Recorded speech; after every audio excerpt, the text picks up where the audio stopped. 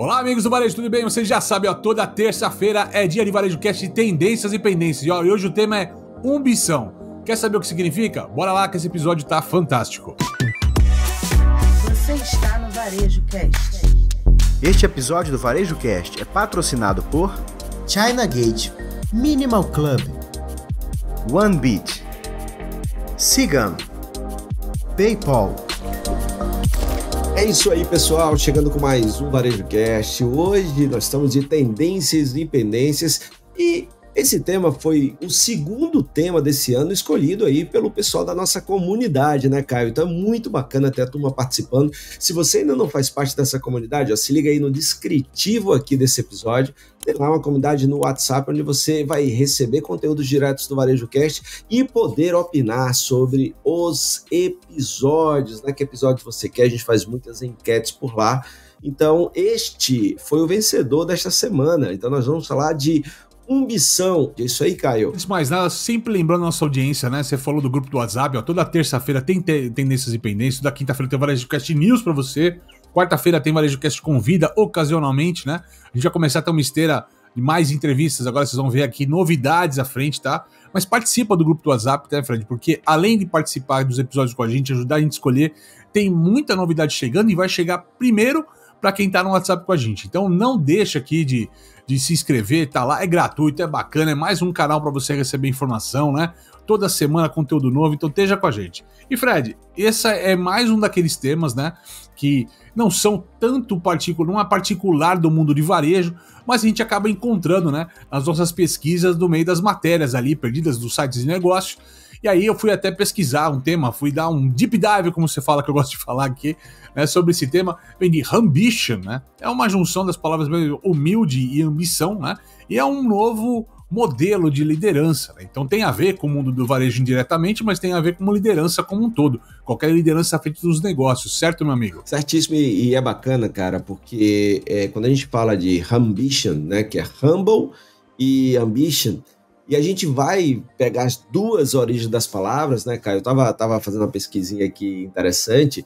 A palavra é, humildade, né, que é o humble, vem de do latim humilitas ou humilitas, né, que é derivado de humus, que significa terra ou solo. Ou seja, na origem da palavra, ela significava estar próximo ao chão. Ó, que bacana, cara. Então, aquele negócio de hum, pé no chão, a gente já sabe de onde vem, não, ó, velho. Você tá, manter o pezinho no chão, né? Então isso é muito tempo. Com a, a, evolução né, dos tempos, o significado também foi evoluindo e adquiriu uma conotação mais positiva de ser associada a pessoas mais modestas, né? Que reconhecem suas limitações e respeitam os outros. Então é nisso aqui que está a parte do humble, né, que é a humildade, ou seja, eu reconheço minhas limitações, respeito os outros, né, então e tenho minha modéstia. Já a palavra ambição vem do latim ambitio, né, derivado de ambire, que significa andar ao redor ou solicitar votos. Olha que coisa interessante, Caio. Então, é, ela vinha, ela vem da, da prática de políticos romanos que buscavam votos e com os votos o poder. Né, circulando pelas ruas e pelo mercado, eles saíam pedindo votos, porque na verdade o que eles queriam era o poder. Com o passar do tempo, a palavra foi evoluindo e a palavra ambição perdeu essa parte da carga só negativa, né, de ter o poder, de ficar pedindo votos, e passou a significar o desejo de alcançar objetivos, sucesso e reconhecimento, certo? Então aí também um pouquinho aí de origem das palavras aqui no Varejo Cast, né, meu amigo? E eu acho que você está colocando aqui exatamente o que a gente vê na história. Quando você fala que a palavra, historicamente falando, ela saiu de uma conotação negativa para uma conotação positiva, né? A gente está falando Isso. das gerações anteriores, das pessoas que batalhavam por galgar postos maiores, né? Tinha como é que é o nome daquele seriado de publicidade dos anos 60 que é super bacana, cara? Madman, lembrei, Madman, lembrei. E o Madman, cara, é legal porque ele pega exatamente né, esse retrato das pessoas, aquele ambiente corporativo, de puxar tapete, de crescer em cima dos outros tal. Que a, um cara com ambição, aquele cara que tinha aquela gana, aquela vontade de ganhar o jogo, não importa o meio, né? Meio que Maquiavel na conversa, né?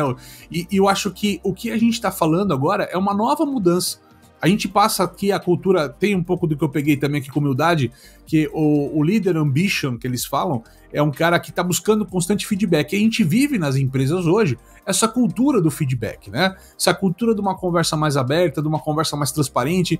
Então eu acho que começa a ambição a ter uma roda negativa, as pessoas só ambiciosas, né? Sem limites, elas já não são tão, vista, tão bem vistas no mercado. E aí o mercado começa a pegar essa questão do líder mais humilde, o líder mais disposto a conversar, a dialogar, né? Faz sentido, Doc? Faz total sentido, Caio. Você me lembrou um ponto é, muito interessante, porque é, na origem, a visão da ambição era simplesmente o poder. E por ser simplesmente o poder, as pessoas foram querendo o poder a qualquer preço, a qualquer custo mesmo que isso significasse faltar com a ética, mesmo que isso significasse puxar o tapete de alguém, né? Então, que muitas vezes se chama no mundo corporativo do cara ser carreirista, né? Ou seja, Exato. o cara tá ambiciando, é, ambiciona chegar gente, né? Aquelas empresas são máquinas ele... de moer pessoas, né, cara? Sim, exatamente, né? Eu, o, até o MC da fala, né? Isso sobre o Brasil, quando ele fala que o Brasil é, é, um, é uma fábrica de moer sonhos, né? Muitas vezes. É, e, e, aí o que é que acontece? Esta ambição, ela hoje né, tem um outro significado que está muito ligado à, à união de uma outra palavra, que é uma outra característica. Ou seja, a ambição ela deixa de ser negativa quando tem junto com ela a humildade. Por isso que elas formam uma palavra só, né? Essa questão de ter ambição com humildade é fundamental nesses tempos de hoje, porque ao mesmo tempo que eu quero crescer, eu reconheço minhas limitações, eu peço ajuda aos meus pares, eu vou evoluindo. Depois que eu chego lá, e aí entra a frase massa da nossa querida amiga Carol Manciola: quando eu chego lá, eu não fico como o cara de antigamente, protegendo o meu espaço e ferrando todo mundo para que ninguém chegue onde eu estou. Esse líder ambicioso com humildade, ele quando chega no espaço que ele queria conquistar, ele alarga esse espaço para caber mais gente. Né? Então isso é muito bacana. É, e é legal, né, cara? Porque na verdade, o que a gente está falando aqui, viu, audiência, é uma balança, tá? Não quer dizer que a ambição está perdendo espaço para humildade. Até tem um estudo aqui que a gente tá, fez um recorte aqui da Harvard Business Review, cara. Ó, líderes com altos níveis de ambition ou de ambição, tá? É, tem 30% mais chance de alcançar sucesso sustentável em comparação com aqueles que são ou apenas ambiciosos ou apenas humildes. Quer dizer o seguinte: não adianta ser 100% humilde sem ter alguma meta, algo que leve ao time para um novo resultado. A ambição não precisa ser aquela coisa feroz, mas você precisa guiar um time para um outro resultado, para outros patamares, um time que cresça e evolua junto com a empresa. É isso que todo mundo quer numa liderança, né? Alguém que inspire e faça o time crescer. Então, quando a gente fala dessa ambição, não é aquela ambição sem limite, mas é, são metas claras, é, as pessoas serem proativas no resultado, sempre em busca de crescimento pessoal e profissional. Então é um outro patamar. Então no, no jogo aqui, o Ambition é uma nova balança para você não ir nem muito para um lado, nem muito para o outro, certo, Doc? Muito bacana essa comparação que você traz, Caio, porque é exatamente isso. Por que, que essas pessoas que têm essa característica de ambição, de ambição com humildade, elas têm 30% a mais nesse estudo de Harvard? Porque o processo de evolução deles eles olham para cima sem deixar ninguém para trás. Então, assim, essas pessoas também querem que esse líder chegue lá. E quando ele também, chega lá, boa. ele tem o apoio do time. Então, ele tem o apoio do time que sustenta ele lá. E se ele, por algum motivo, sai da empresa, os caminhos que ele abriu, abriram-se portas também. Então, ele continua na carreira, que é diferente desses carreiristas que a gente fala, que o cara sai ferrando todo mundo e ele chega lá, mas chega de um jeito tão ruim que a energia é tão pesada para cima dele, fica todo mundo querendo ferrar ele lá, né, Caio? Então é totalmente. Por isso que faz todo sentido esse estudo da Harvard, que é, só reforça como é bacana quando você consegue unir as duas coisas. Ah, e tem um ponto importante aqui, Fred, exatamente pro, pro a nossa audiência que tá olhando, falando, mas será que precisa esse negócio de ambição? Não é mais um termo e tudo mais? Vamos por partes. A gente vive um cenário, vamos falar do varejo, já que é o nosso nicho de mercado, já que o Varejo Cast é focado Sim. no varejista, tá? Uh, a gente vive um cenário de varejo que tá muito difícil você trabalhar com nova mão de obra ninguém mais quer trabalhar no varejo, já falamos isso em outros episódios, né? A gente vira e mexe, traz isso em forma de notícia, que é um problema global, não é um problema do Brasil, da tua cidade, do teu estado, é um problema global hoje, não tem jeito, tá?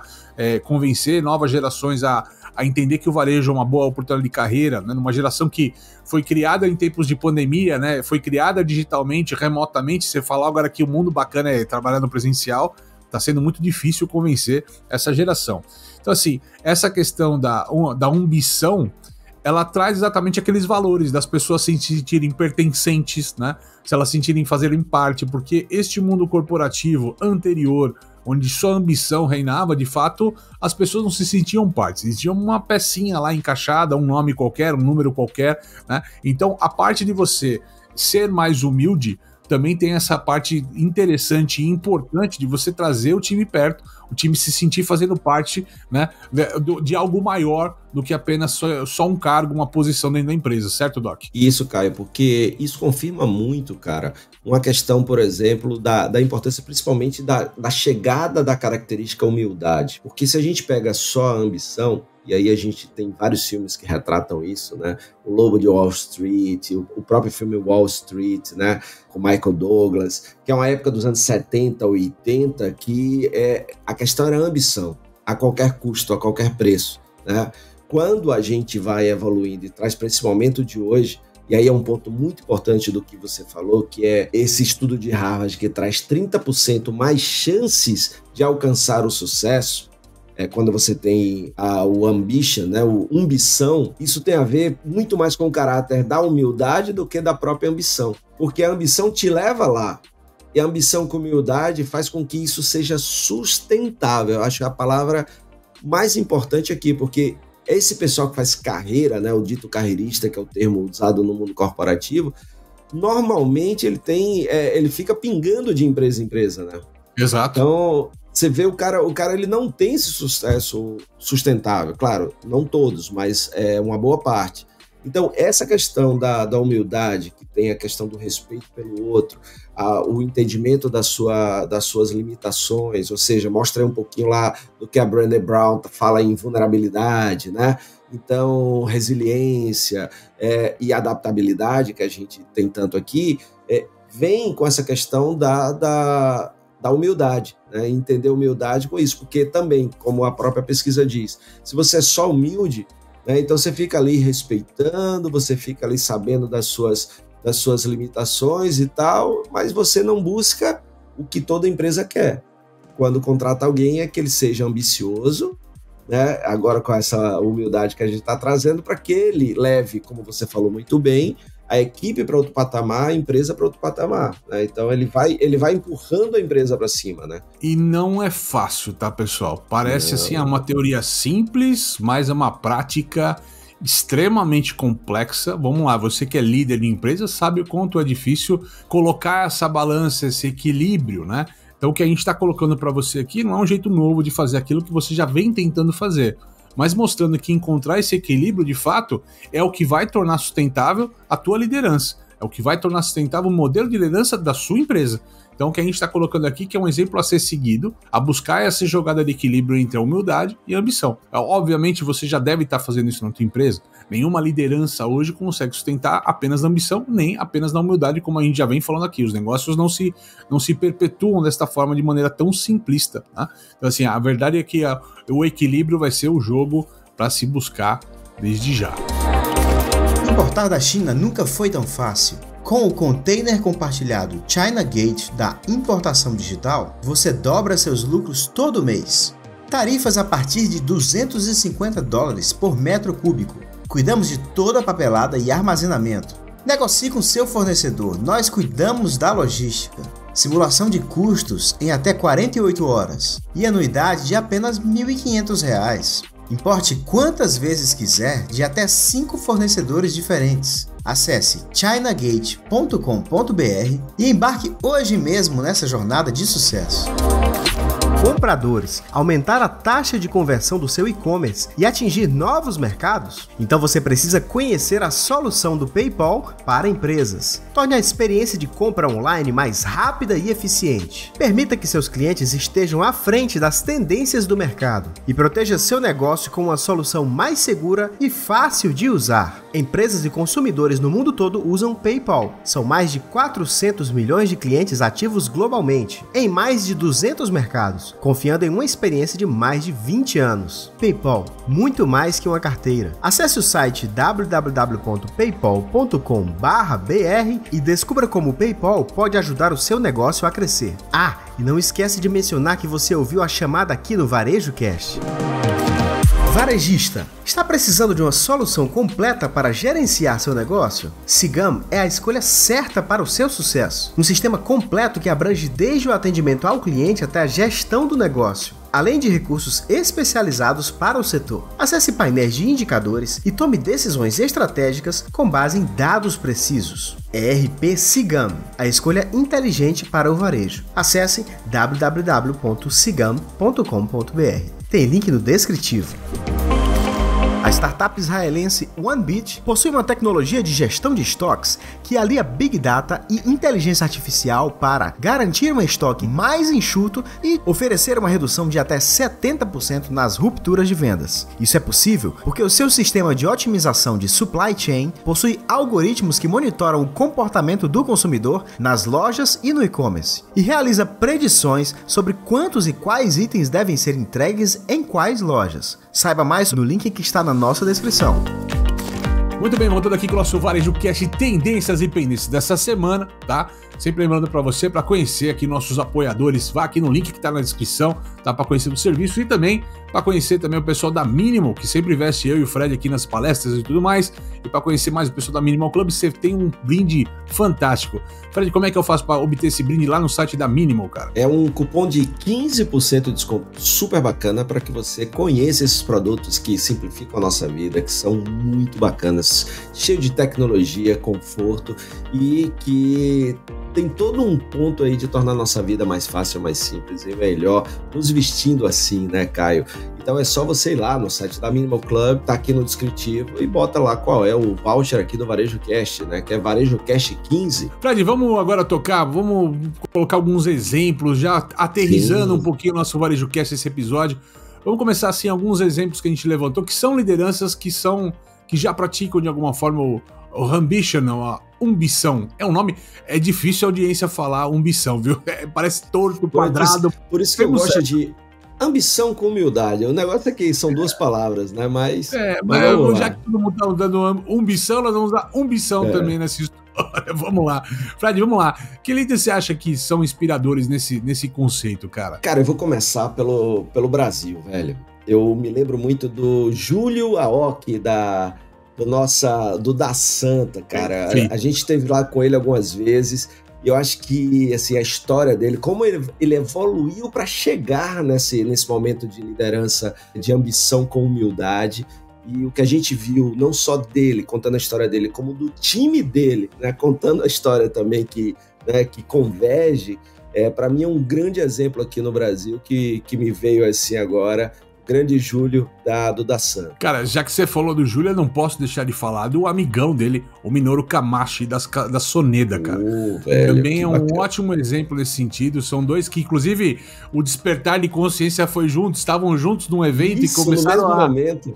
no mesmo momento nessa história. E tem outras pessoas do ecossistema deles ali que também estavam com ele, mas as nossas referências é o Júlio Minoru, mas o Minoru Kamashi também é um baita de um exemplo nesse sentido, né, Doc? Demais, cara. Que boa lembrança. Inclusive, estivemos com eles também. Excelente. A gente perceber que aqui no Brasil a gente tem esses representantes que trazem já esse conceito dentro dos seus negócios e comprovam que isso dá resultado, né, Caio? Então, isso é muito bacana. O da Santa, a Soneda, né, são, são bons exemplos disso, né, cara? Mas a gente tem mais nomes aí. É legal, tem uma galera no mundo da startup, cara, que eu acho que equilibra muito bem essa questão do ambition.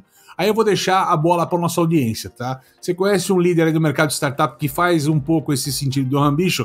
Deixa nos comentários aqui, ou seja, vamos levar. E outra, outros líderes do varejo que trabalham nessa linha, a gente também quer ver listados lá também. Então você conhece um líder... Na indústria, né, cara? plataforma que você tá, na indústria também, não importa a empresa que você tá, né? Eu queria que você trabalhasse. Aliás, aliás, eu tenho que lembrar aqui, cara, tem um líder extremamente humilde, tem um ambition na veia, Infelizmente o Brasil perdeu ele alguns dias atrás, que era o Birajara Pascotto, o Bira da Cibelar.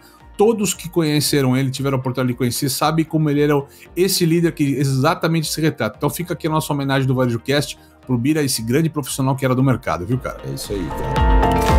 A gente falando lá de fora, Caio, quem são alguns representantes dessa característica híbrida, né? Está tudo junto ali misturado, ambição e humildade. Cara, acho que um dos grandes expoentes dessa conversa, a gente tá falando do Satya Nadella, né? O CEO da Microsoft. Eu acho que ele, ele, ele, ele, ele transparece isso nos palcos. A gente não sabe o dia a dia corporativo da Microsoft, o que chega de notícia pra gente, né? É que ele tem esse perfil, é uma abordagem sempre humilde, empática, né? Ele transformou bastante o modelo de cultura da Microsoft nos últimos anos, né, cara? Deixou, talvez o Bill Gates, que tinha até uma pegada um pouco mais, mas o negócio era mais ambicioso. A, a, o Satya, de fato, ele tem uma, uma, outra visão de negócio, né? Bem mais humanizada aqui, né? Exatamente. E aí eu venho com três nomes que me vêm, li as biografias, conheço as empresas há bastante tempo. Né? Então vamos lá. Ivo Chonar, da Patagônia. É, quem quiser ler um pouquinho sobre ele, Let My People Go Surfing, ou seja, deixe meu time surfar, é um livraço conta um pouquinho da história dessa grande marca chamada Patagônia. Truett Catty, fundador do Chick-fil-A, né? muito bacana. Também é uma história muito legal, uma marca que eu também sempre levo a turma lá para visitar e também muito legal. John Mack, do Whole Foods Market, né? Então também tem é o livro que conta a história, né, também da do e por fim o Keep Tyndall da The Container Stock já foi inclusive presidente da NRF, diretor também do board da NRF, que também tem um tem um livraço que é The Uncontainable, aquilo que não coloca dentro do da The Container, né? Então, muito legal. Esses nomes aí mostram um pouquinho aí dessa Ambition, né? Então é muito legal quem quiser dar uma mergulhada aí nesses nomes, são nomes muito bacanas, assim como os brasileiros, que existem vários outros aqui que a gente podia citar também. Bom, agora vamos lá, a gente falamos de pessoas, né, Brasil e exterior de uma maneira bem bacana, bem interessante, a gente quer a tua ajuda, hein? Quero a tua opinião também em cima disso. Agora, qual seria o desafio de. A gente falou do equilíbrio aqui, mas como é que é. Ou qual seria o desafio da gente equilibrar essas duas pontas aqui, Fred, na tua visão? Pô, tem, tem assim, dois desafios assim muito grandes, né, Caio? O primeiro é a partir do momento que o líder vai galgando espaço na organização, ele manter essa humildade, ou seja, ele manter a ambição, mas a humildade ela acompanhar. Em alguns casos, a humildade vai caindo, porque o poder vai dominando, né? Então a pessoa tem muito cuidado para o poder não não dominar, e aí a ambição com muita forma de poder, com muita vontade de poder, e é o que a gente fala popularmente que o poder subiu a cabeça, né? Que outros dizem assim, você quer ver o caráter de uma pessoa, dê poder a ela, né? Então tem muito disso. É verdade. Ah, e acho que tem uma segurança. A gente costuma dizer, né? A liderança normalmente ela costuma ser, infelizmente, um ato solitário, né? O líder da empresa normalmente ele se vê solitário em alguns momentos de decisão, conversa. Então, as empresas estão mais abertas. Então, assim, é um desafio cultural de você criar uma empresa mais aberta a uma conversa, né? Onde você troca mais essas informações no dia a dia. Existe a insegurança, existe o turnaround das pessoas, né? Poxa, eu confio nesse gerente que está mais abaixo, mas daqui a pouco ele vai embora da minha empresa, leva um monte de informação sigilosa. Quanto eu posso trocar com essa pessoa, né? Existe e é justificável os medos, né? né conversa, mas a partir do momento que você tem uma empresa mais transparente, né? Você pode ter menos receio de trocar essas experiências, essas informações, certo, Doc? Isso. E o segundo desafio, né, Caio, além de manter a humildade enquanto você vai galgando aí os espaços e conquistando mais poder e mais poder, é evitar a arrogância enquanto persegue essa, essa grandes ambições. É a base né? da última frase que você falou agora, que é exatamente isso que você falou. Se dá o poder, você descobre quem que é, né? Na hora Exatamente. de dividir o sal é que a gente descobre que tá do outro lado da mesa, né, cara? É isso, porque a linha é muito tênue, né, cara? Então, se você vai assim, a confiança e a autoconfiança, assim, eu consigo lá, aquele espaço é para mim, e a arrogância é uma linha tênue, assim, que você às vezes passa ela e você não percebe que passou. Não, e isso é, é um grande desafio, né, pra, para que os líderes não percam essa torcida a favor do time, dos clientes. Afinal de contas, né, cara, como tá muito difícil contratar e manter os talentos, essa liderança que se mantém ambiciosa e humilde, ela tem uma facilidade maior de manter os talentos, de contratar talentos e de gerar mais resultados. Por quê? Porque todo liderado quer olhar para cima e ver que o líder está puxando ela. É, o líder está crescendo e o time está crescendo junto com ele. Você tem um líder que não tem ambição, você diz assim, eu não vou crescer. Você tem um líder que tem ambição e não tem humildade, assim, poxa, esse cara aqui não vai me dar espaço. Aí quando você tem as duas coisas, aí a engrenagem parece que funciona melhor, né? E o estudo de Harvard comprova isso. Cara, e, e isso tem tudo a ver com, com, um assunto que eu sempre costumo trazer é, sobre habilidades do futuro lá na palestra, né? Uma delas que eu falo que é o desapego, né, cara? E a gente tem que tomar cuidado para não colocar autoconfiança e confundir ela com ego. Porque muitas vezes isso tá, isso tá permeando no ego da pessoa, e o problema é que o ego já matou mais negócios do que a própria concorrência. Então a pessoa confia tanto, ah, isso aqui é do meu jeito, vai dar certo tal. Não troca, não, não, não tem essa troca, não entende, é fechado nessa autoconfiança, isso vira arrogância, isso quebra a empresa, cara. Então, assim, quebra a empresa. Historicamente, tem uma, uma série de casos aí na história da administração das empresas que as empresas quebraram por uma questão simplesmente de ego, né, cara? E é interessante porque eu, eu tava acabando de, semana passada, na viagem à Bahia, fui aproveitando e fui assistindo o último filme da trilogia Guardiões da Galáxia, que eu não tinha assistido ainda, e o nome do pai lá do. Não vou dizer porque quem não assistiu aí, porque aí pode ser spoiler, mas o nome do pai de um personagem é Ego, né? E ele tem a Ego, o, o Ego Planet, o planeta Ego. Né? E é aí isso. ele mostra um pouquinho, né, dessa questão do ego que você tá falando aí, né? Não, é exatamente isso, né? Na verdade, nos quadrinhos, o ego é um planeta, tá? o ego, ele é um planeta, o personagem é um planeta, cara. Mas é isso aí. Muito bem, Fred. Bom, para a gente fechar esse episódio aqui do, do Varejo Cast Tendências e Pendências da Semana, espero que você tenha gostado. Estamos sempre levantando, toda semana tem esse tema. Se é a primeira vez que está escutando a gente aqui, tem muita galera que está chegando pelas nossas palestras, a gente fazendo propaganda e tudo mais, né? Então, assim, toda semana tem conceito novo para você. Então, a gente quer falar para você que o ambition, ou ambição, né, seja o nome que a gente vai usar aqui, a gente prefere usar o termo em português, né, no dia a dia. Mas essa ambição na verdade é um desafio que já está na tua mesa, já está no teu negócio. Eu acho que a grande questão é você encontrar o teu equilíbrio de você trabalhar a humildade, mas sem abrir mão da ambição nessa conversa, certo, Doc? Certo. E me pergunta uma coisa, cara. É, o líder, ele lá naquela jornada que você falou que muitas vezes é solitária, é um bição. Eu e você, como sócio, nós somos dois. Vai ser dois bição? Dois bição. Muito bom, muito, muito bom. bem, muito bem. E com essa piada ridícula, que assim, quando a gente tem alguém que gosta da gente, ele dá risada até quando não é engraçado. Então eu fico muito feliz. Mas é isso aí. É. e agradecer a todo mundo que nos ouve, agradecer essa semana eu tive lá em Irecê, no Líder Digital com a turma da Bahia, Delian, e é, neste domingo eu tive lá com a turma da, do Lojão Rio do Peixe, agradecer a Jobson, seu Luiz e Jorge, todo mundo lá pelo carinho e um abraço aí para todo mundo do Lojão Rio do Peixe aí. Muito bacana estar com vocês. Bom, também vou agradecer o pessoal da Fini, uh, o pessoal da, do Sebrae, que a gente está fazendo uma sequência de workshops aí de inteligência artificial que estão fantásticos. Quer saber mais? Só entrar em contato, né? Estamos uma sequência de 37 workshops que a gente começou agora, cara. Imperdível. Só ferramenta massa, dicas bacanas. Se eu fosse você, conversava Corre com o cara para levar para sua empresa, que é para potencializar a turma e é muito bacana. Pessoal da Seu Bet também, eu participei de um webinar com eles que deve sair no ar, em breve aqui no ar também com o pessoal, cara. É isso aí. Tem muita coisa vindo aí na nossa esteira de só sucesso aqui do Varejo Cast. Nessa é história toda. É isso aí, pessoal. Até o próximo episódio, até quinta-feira no Varejo Cast News. Até mais. Valeu. Você assistiu Varejo Cast. Saiba mais sobre o Varejo Cast e nossos patrocinadores acessando os links na descrição deste episódio. Seja você também um dos nossos patrocinadores. Entre em contato com o nosso departamento comercial. Tem link aí na legenda. Este Varejo Cast foi editado por Yannis Maciel.